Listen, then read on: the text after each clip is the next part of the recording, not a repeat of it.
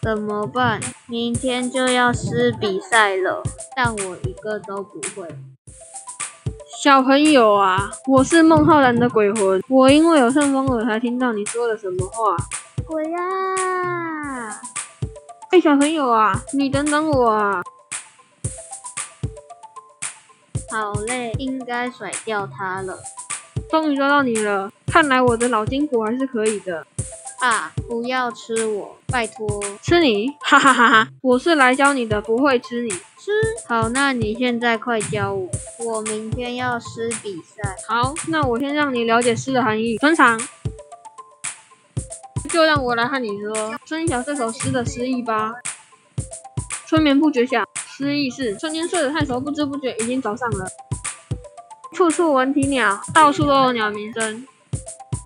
你挡到字了，先让你飘起来。好酷！夜来风雨声，想起晚上的风声和雨声。